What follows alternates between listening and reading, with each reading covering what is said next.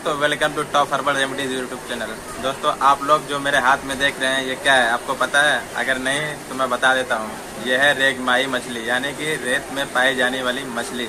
मछली के बारे में पता है? अगर हाँ तो कोई बात नहीं। अगर नहीं पता है तो हमें कमेंट बॉक्स में कमेंट करके ज़रूर बताएँ। मैं इसके ऊपर पूरा वीडियो बना के आपको बताऊँगा, ये किस काम में आता है और इसके क्या फ़ायदे होते हैं।